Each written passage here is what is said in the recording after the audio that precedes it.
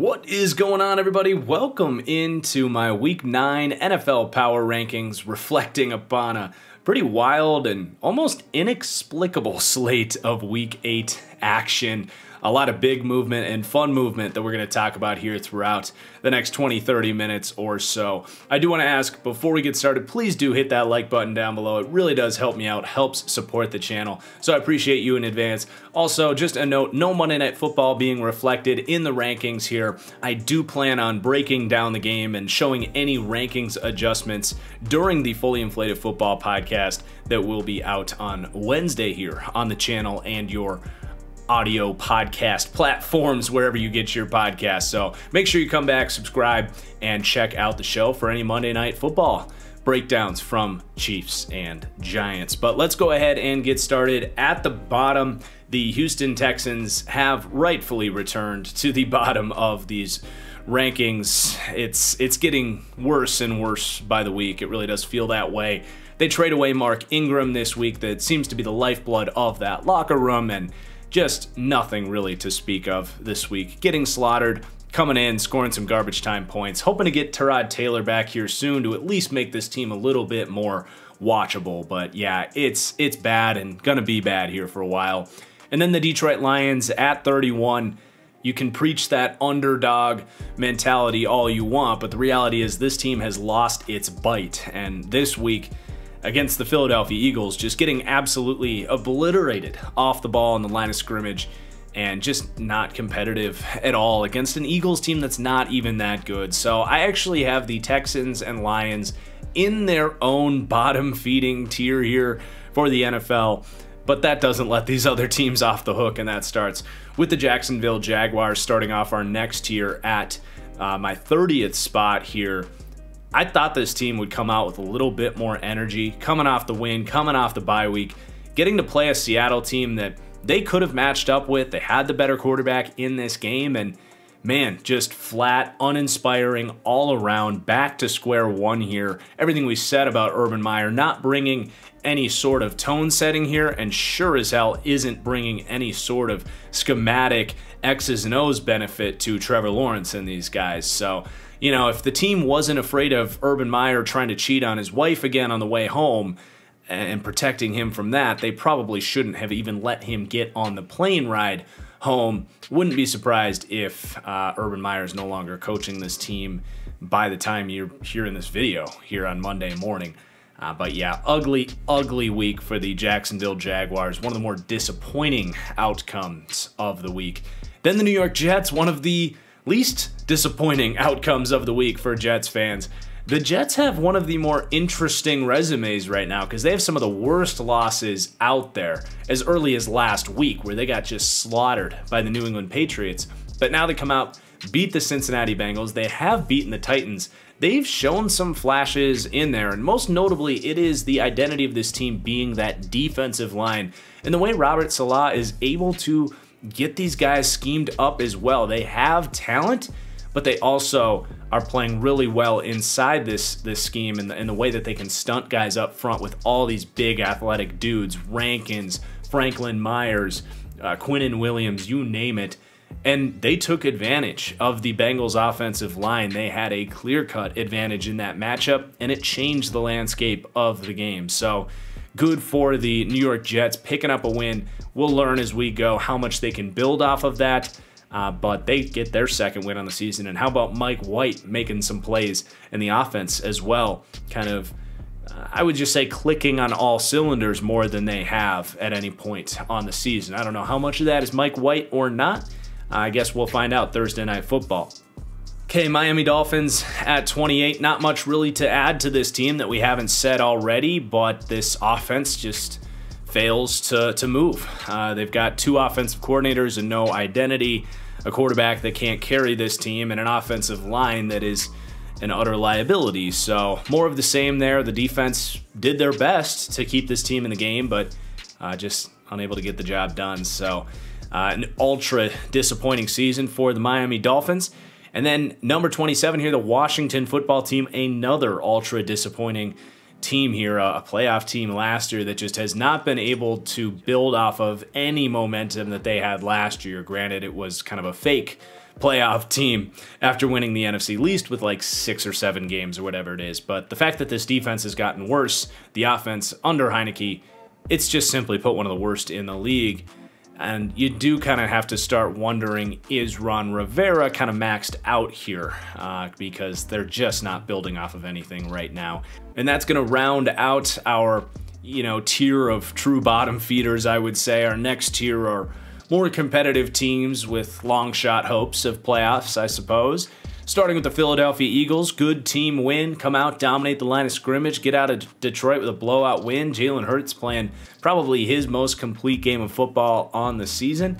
It was the Detroit Lions. Hard to know how much to take away from that, but still good to see a team come out and uh, kick another NFL team's ass like that. So, plus two for the Philadelphia Eagles. New York Giants playing on Monday Night Football again. We will get a reaction from that game on the podcast on Wednesday, though I will say I'm not expecting them to compete all that much. Guess we'll see. Then the Atlanta Falcons at number 24. Definitely one of the most uh, disappointing, disheartening weeks for a fan base out there for the Falcons. You really started off before the game even started with Ridley dealing with some stuff off the field and he's going to be stepping away from the team. That's a, a, huge loss until he comes back, and we don't have a timeline on that. Hopefully, Ridley can uh, get things sorted out in, in his life uh, to be in the right frame of mind to get back with the team, of course, but it is a blow to this team either way you want to slice it. And then for Matt Ryan to come out and just play like absolute ass. I mean, he was pathetic this week.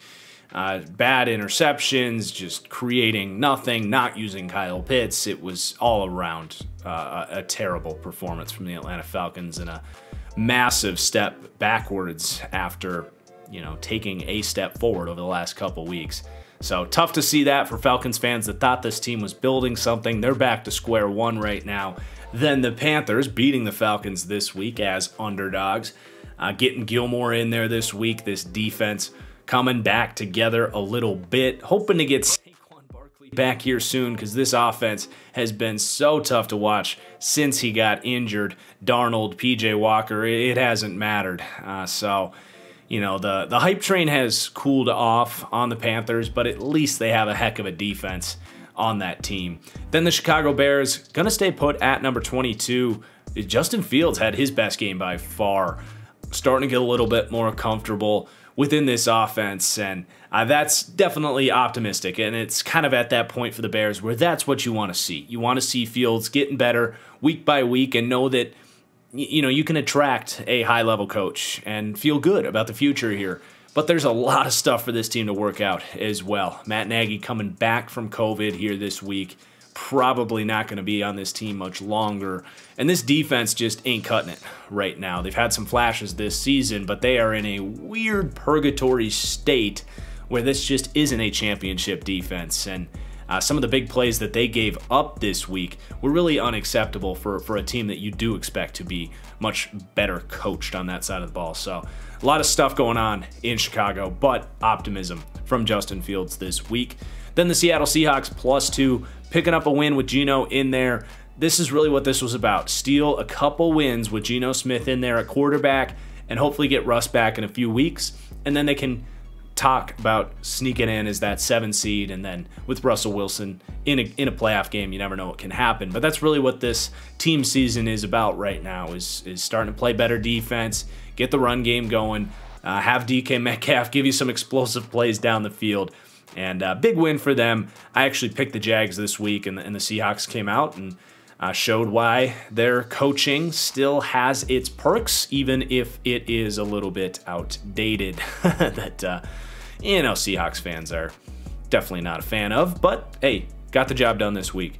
Then we've got the Denver Broncos moving up a spot. I Don't feel any better about the Broncos this week. I just feel worse about the Atlanta Falcons. So they're moving up. They beat the football team this week. Certainly good to see Jerry Jeudy get back out there this week, and sure, the defense playing a little bit better against some offenses that are struggling right now, but I mean, come on, where are we going here? With the Denver Broncos. Now we have a tier gap up to teams that are much more in the playoff picture, but teams that just have a severe lack of either explosiveness offensively or continuity from a week to week standpoint. And actually, this tier is remarkably tight right now, all the way up to 13. And I'm actually going to do something I don't normally do, and I'm actually going to reveal all seven of these teams right now because I want to emphasize that this tier gap I really struggled with. And honestly, if you put these guys in a neutral field, I think you're talking about a point difference between all these teams. But I got to put the Minnesota Vikings at 19. I mean, that was a, a hot seat performance and, dare I say, a, a fireable offense by this coaching staff for the Minnesota Vikings. Uh, it was a Halloween horror story for this offense that had no excuse playing that way at home Sunday night football against the Dallas Cowboys and, and Cooper Rush. I mean, they played not to lose that game. I tweeted about this. You know the old saying, you play stupid games, you win stupid prizes. And the Vikings decided, yeah, we don't really have to push the ball downfield. We're just going to play this game not to lose. We'll escape this game with our defense against a backup quarterback. When in reality, the Vikings offense, when they have played aggressively, has been honestly pretty good. But they protected themselves for what, uh, God knows what reason here this week, and they got burnt for it. Uh, no aggressiveness from Kirk Cousins as well. It's not all on the coaching staff. We wanted to see Kirk play on Sunday Night Football, and unfortunately, we, we saw his cousin uh, so just an all-around horrific performance from the Minnesota Vikings, losing all of the steam that they had, and that is going to be a, uh, a, a terrible loss by the end of the season when you look back at playoff seedings and stuff.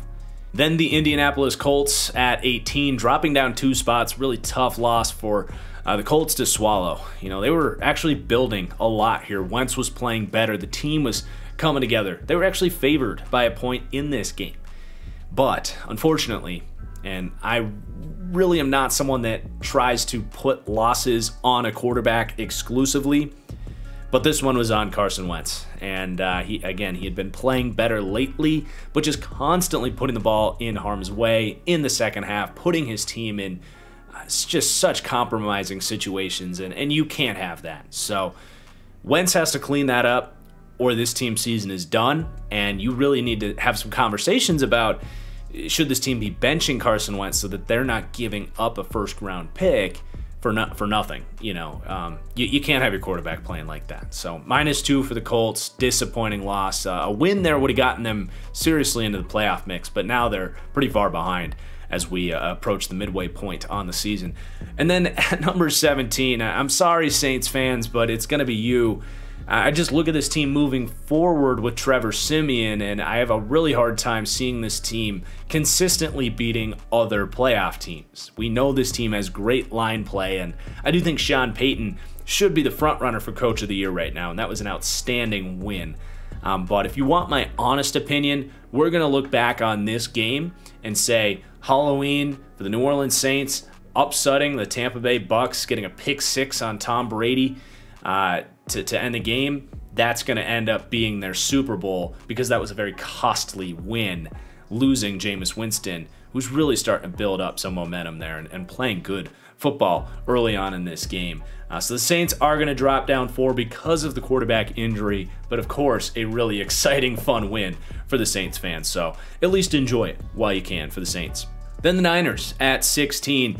Big win against the Bears this week. Deebo freaking Samuel, man. Uh, I don't know where he ranks receiver wise. About 100 yards almost on a screen catch, but man, is he one of the most electric players in the NFL, particularly with the ball in his hands. And hey, Jimmy Garoppolo playing really good football in the second half of this game saying, don't forget about me. I can still have some moments. I might not be this superstar, but there is a reason Kyle Shanahan trusts him. And that was an impressive performance by the Niners offense, uh, persevering through a lot of momentum that the Bears had captured in that game. So, big win for the Niners to get the offense rolling again. And uh, they're in the mix here and could be interesting if they start to get a little more healthy moving forward. Then the New England Patriots plus three. That was a huge win for the Patriots, man. And we've definitely learned now that these physical teams, the Cowboys, the Ravens, the Patriots that want to run the ball and intimidate you up front, those are the teams that are really going to match up well against the LA Chargers specifically. Uh, so that is certainly noteworthy, but the Patriots are playing pretty damn good ball lately, man. They barely lost to the Dallas Cowboys, beating the Chargers here, blowing out the Jets last weekend. They're a solid team, and with the way they're playing right now, I do expect them to be in the mix for a wild card spot. And it's it's tough because without all of these guys in the secondary, uh, dealing with injuries and trading away Gilmore, I just don't know if the upside for this defense is where it, it has to be for them to be a more serious playoff team. Uh, but they're still incredibly well coached and uh, certainly not a bad football team. Then the Cleveland Browns, Browns fans, I'm really sorry to do this, but man, at some point you gotta you gotta move the ball offensively, and Baker Mayfield just not getting the job done at all. The run game has not been able to get to that dominant status of last year, and it, it just comes down to Baker Mayfield. I mean, this defense is playing lights out. Myles Garrett continues to be, in my opinion, the defensive player of the year. He had a, I saw on Twitter, pass rush win rate, win rate of 54%. Can't wait to see his PFF pro, profile as far as how many pressures he had. He was swarming in this game. And the, and the Browns played great defensively. Baker had yet again a chance late in this game, and the team fell short. Now, it wasn't all Baker's fault. There's a lot of drops and stuff, but at the end of the day, this, this team has to figure out the offense if they want us to take them more seriously as a team that can come in and win playoff games. They, they have a great defense. They can do some things offensively, but they're not a great football team right now. They got to they got to put this all together moving forward. And then somehow the Pittsburgh Steelers end up at 13, and I really don't feel good about this. This is the big reason why I wanted to cluster all these guys together so much.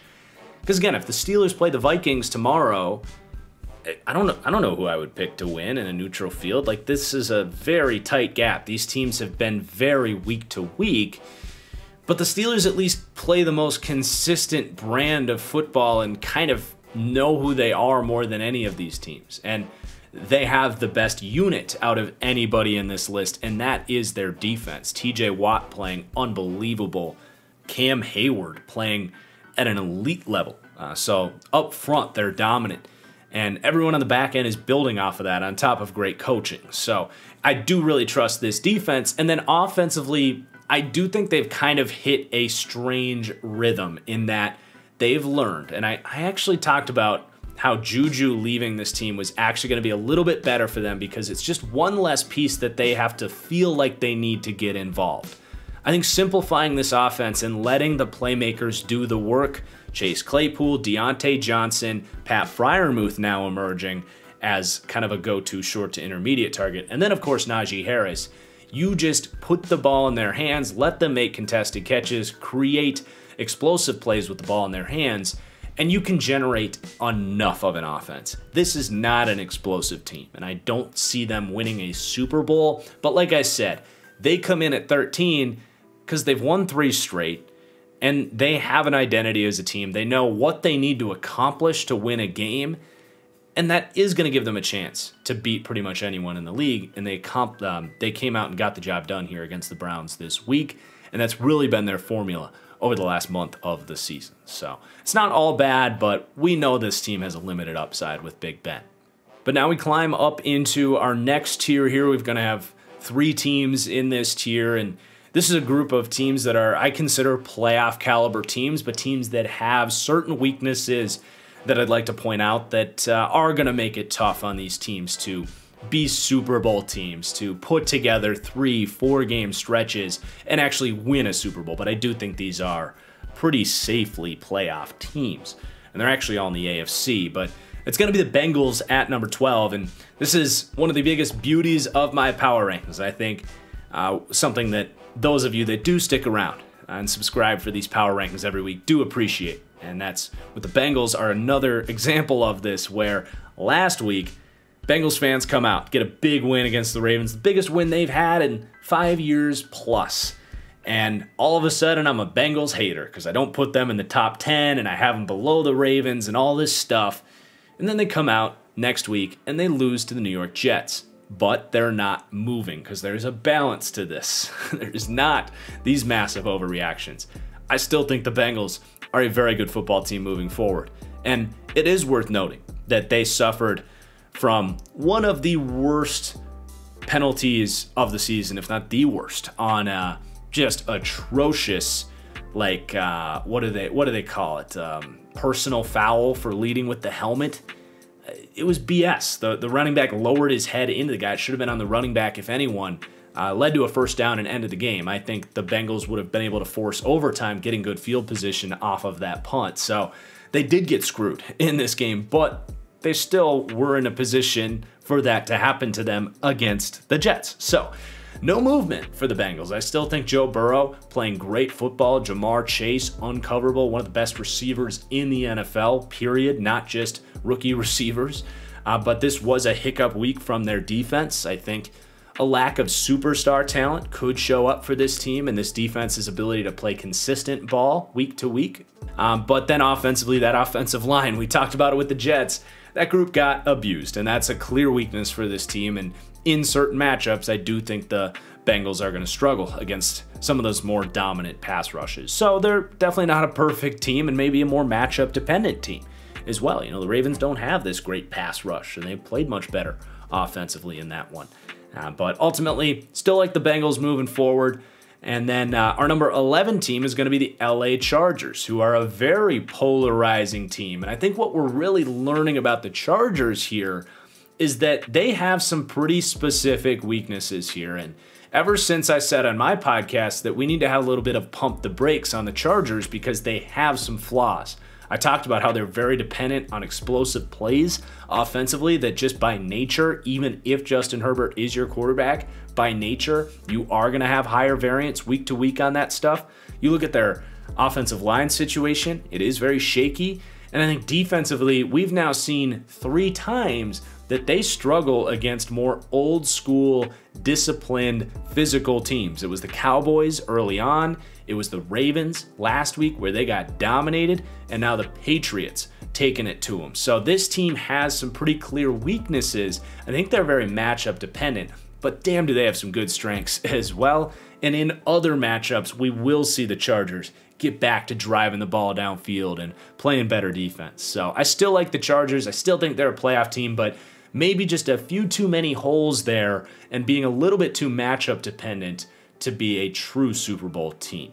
Okay, then the Raiders having a great bye week, climbing up four spots thanks to some disappointing performances from other teams here, uh, but still in a in a group where I just don't consider them winning a Super Bowl. And I don't think I need to defend this as much because, you know, Raiders fans are going to get really pissed about that. But I ran a poll on Twitter and I think it was like 87% said, no, this team can't win a Super Bowl. And it's because I just don't trust the defense and I just don't trust Derek Carr to play at that level for four straight weeks. It can change.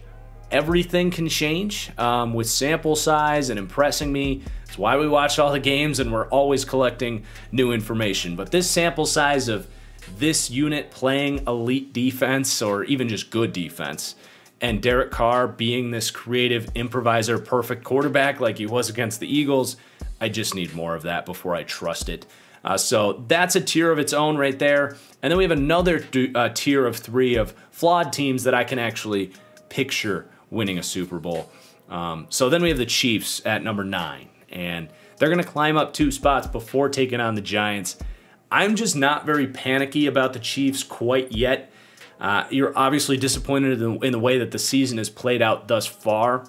But when, for the most part, you're talking about taking better care of the football and the impact that these turnovers have had in a lot of these games, uh, being being something that I do think this team can uh, clean up at least a little bit. And some of these moves defensively with their personnel, I think they can go from this just melted butter defense where they can't swat a fly to at least a team that can get a few more sacks and interceptions and um, you know play a little bit better defense. So they're flawed. Don't get me wrong. I'm worried about the O line. I'm worried about Patrick Mahomes playing in structure much more, and I'm certainly worried about this defense. So if you want to talk about them winning a Super Bowl this year, they have a lot more to go, but.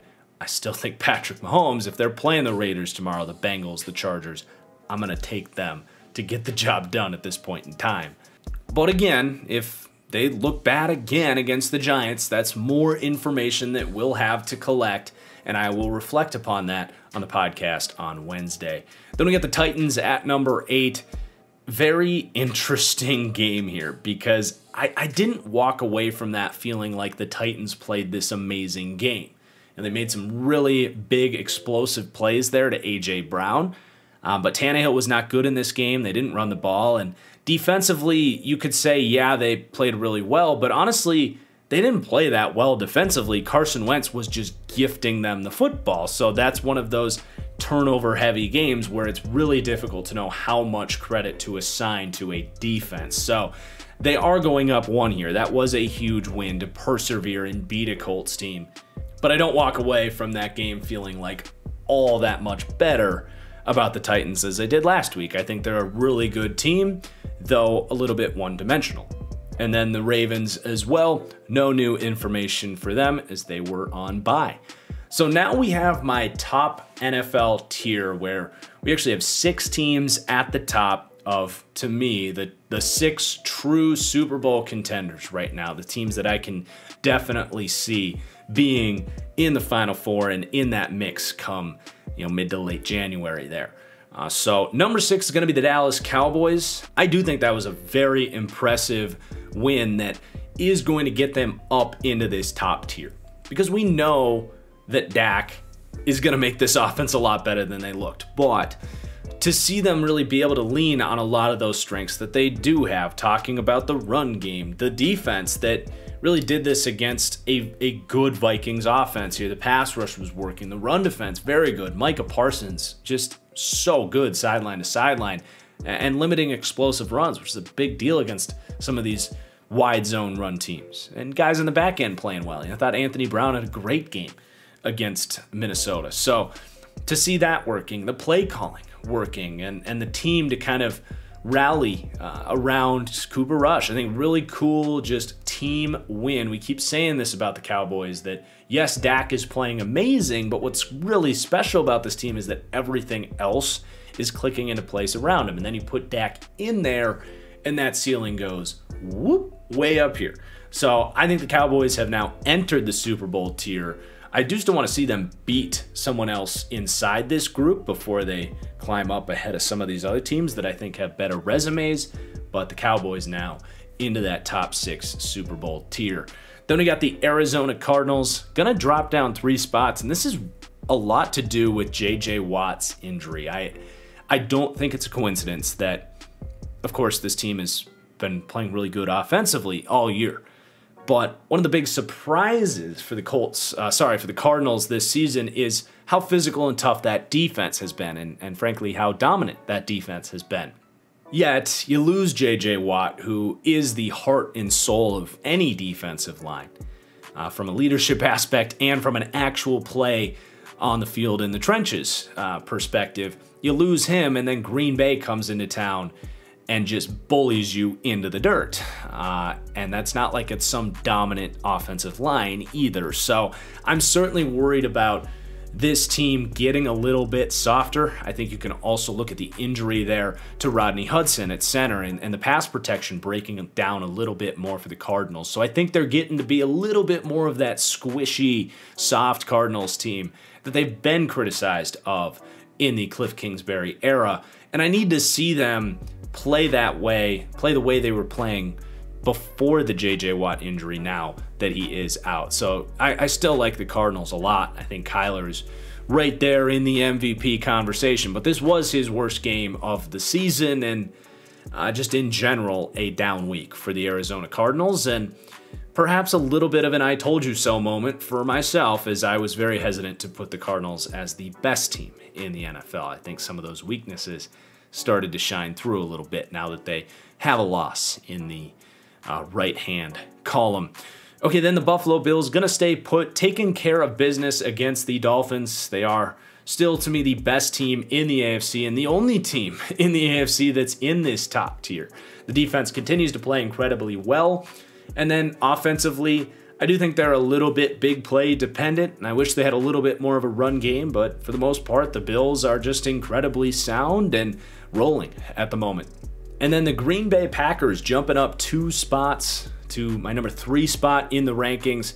Starting to look a lot more like that team that I ranked two coming into the season, where I got a ton of crap for that, by the way. But a lot of things I talked about shaping up as far as Matt LaFleur being an underrated play caller, this pass rush being really sound, this quarters heavy scheme leading to a more solid, consistent defense that allows guys to play faster and, and, and play well. We've also seen the impact of low level free agents making a bigger impact than people realize for the Packers because in the past, the Rasul Douglas and De'Vondre Campbells of the world well, prior to Green Bay actually considering outside help in the event of injuries or poor depth on the roster, they would just go to some random practice squatter and then he would go and get obliterated by DeAndre Hopkins or uh, insert good NFL player. Here, we're seeing countless players now step up, guys like Campbell, Douglas, Whitney Mercilus, Hell, even a Juwann Winfree, Randall Cobb. Like those guys were non existent in Packers teams years past. Now they're getting contributions from the depth at a much higher level. Oh, and by the way, David Bakhtiari's coming back. They just got great great news on Za'Darius Smith. Wasn't sure if he'd be back. They're expecting to get Jaire Alexander back. Oh, and all their three receivers. So this is a huge win for the Packers. I feel like their season is only just kind of getting started. And uh, I think they need to open up some more explosive aspects of the offense. You know, Rodgers has been very kind of close to the belt, nickel and dime you, uh, let the run game beat you, and then make a few plays on third down when he needs to. I still would like to see them have a high powered offense before I put them ahead of these other two teams, but still a huge week for the Packers and a statement win to say the least. Okay, the Tampa Bay Buccaneers are not going to be my number one team anymore, dropping down a spot. Now, I do think Antonio Brown being injured is an underrated critical cog for this team because they're still very good offensively. But I think that kind of deep to intermediate aspect of the field and the way that Brady's able to attack that with Antonio Brown not to mention that third layer where you have to worry about Godwin and Evans and then Antonio Brown. I think that's what really elevates this offense to that elite territory. I think you take him out of there, it's still incredibly good, but we're also seeing the defense falter much more this season with some of their injuries. Um, so I, I still think the Bucs are incredible and probably going to come in higher than most people have them still. Uh, but needless to say, that was a, a disappointing loss for the Buccaneers, and and Brady showing some weaknesses this week as well. Really, three frankly bad turnover-worthy plays that put this team in a tough spot. Uh, so he's having a great season, but you know that stuff can't happen. So Bucs are going to come down too, and then I'm actually going to have the LA Rams, the number one spot. I just think this is the most complete team in football. They don't have any weaknesses right now. I think their defense, when you look at anyone in the top six here, is the most trustworthy. You got Donald and Jalen Ramsey as building blocks upon a well coached, good unit. And then you throw in Sean McVay, who might be the best coach in football right now, a run game that works, the addition of Matthew Stafford with all of these receivers and Cooper Kupp playing the way he's playing. Uh, right now, the Rams, to me, are the most well balanced team in football, and part of that is health. This team somehow never gets injured. So good for Sean McVay. I don't know how he does it, but here's the Rams at number one, and that's my top tier for the NFL. Uh, so, a lot to break down this week. Really excited to see what you guys think about the movement this week. Starting to get more and more information as we go, and uh, in, in some areas, I feel like we're learning less uh, with some of the chaos like the Jets beating the Bengals. But uh, really hope you guys enjoyed. Thank you for watching. We'll see you guys for the podcast on Wednesday. Also going to be doing my uh, mid-season prediction revisions, uh, so that'll be a fun one.